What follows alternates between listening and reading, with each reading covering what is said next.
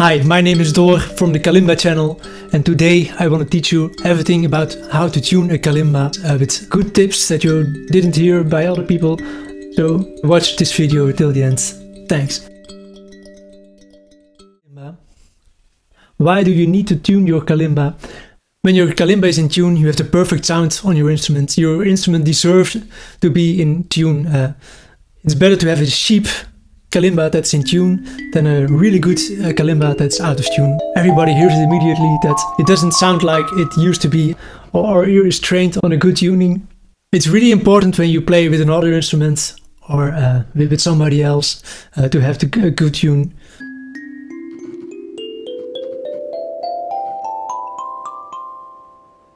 We're gonna teach today uh, how to tune with, with a tuner, but uh, when you play with somebody else, be aware that it can have another tuning. So then you need to use your ears to hear how, how the other instrument is sounding and that it blends together. So when do you need to tune? Your instrument have always to be in tune when you're gonna play. So uh, every time when you're gonna play a song, especially when you have a recording or a concert, be in tune because everybody will hear it. Some instruments need to be more tuned than others. Like this kalimba, uh, I, I, didn't have to tune it since I got it. Uh, it's a Bolf kalimba. People who follow me, they know it. I, I love the brand, and uh, if you have want to have a kalimba like this, uh, follow the link uh, below. Where do you have to tune? Uh, it's really important that there's no sound around when you want to tune with, with your phone. the phone pick every sound that it hears be aware that everything is silent when you tune. Also, when there's somebody speaking, a tuner will uh, find that uh, as a tone, so it has to be silent.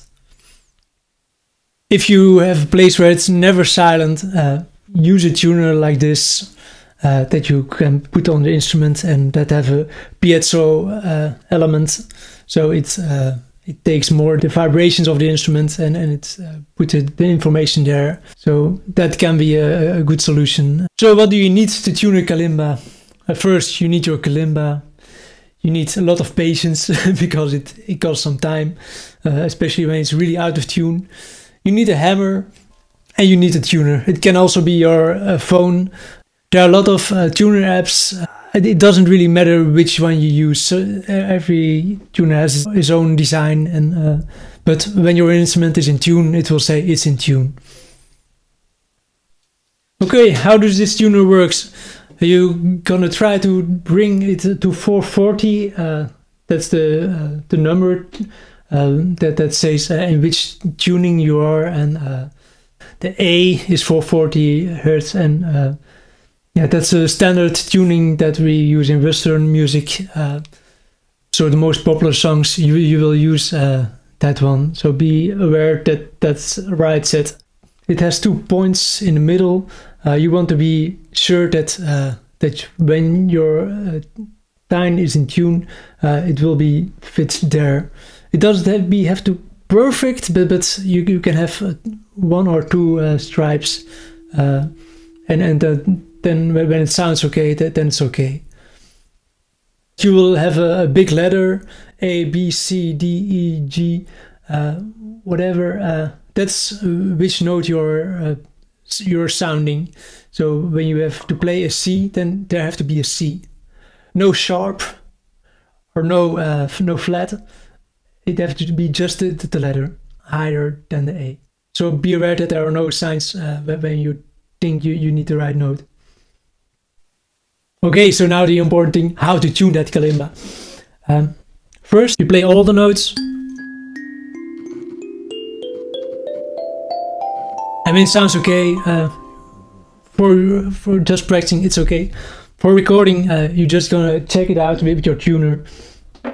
Uh, lay it below the below the instrument. Uh, the sound is coming from here, so that's the best place where the tuner can hear your instrument you're gonna play the note and, and the tuner will um, will pick it up. When it's okay, it's fine. Just uh, keep it uh, keep it, and you go to the next one.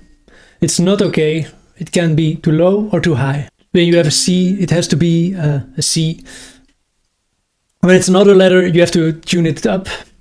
Then you come from here and you hit it with this side of the hammer.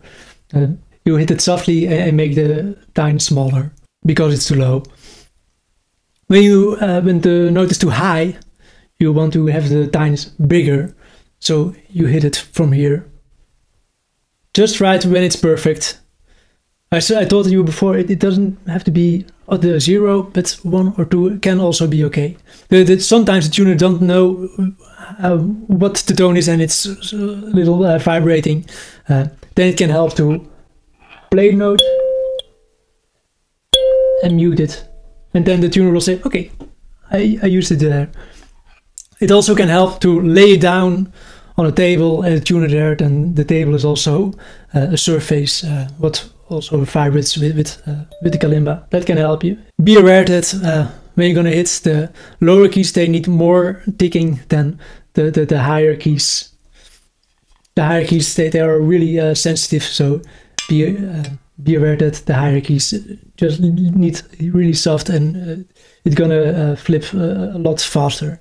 Okay, now we are busy with the ticking. Maybe you also want to subscribe uh, and, and, hit the, the, the, button subscribe and uh, hit the not notation bell uh, beside because then uh, uh, you know when the next video is coming about transposing in other keys and uh, you can also follow the daily routines. They are really good practicing for getting your thumbs warmed up and I got uh, lots of uh, easy kalimbas, beginner songs, and uh, there will a lot of coming uh, on, this channel about good information about playing kalimba. So don't miss anything and uh, subscribe if you want. If there are any questions, send them uh, here in the comments.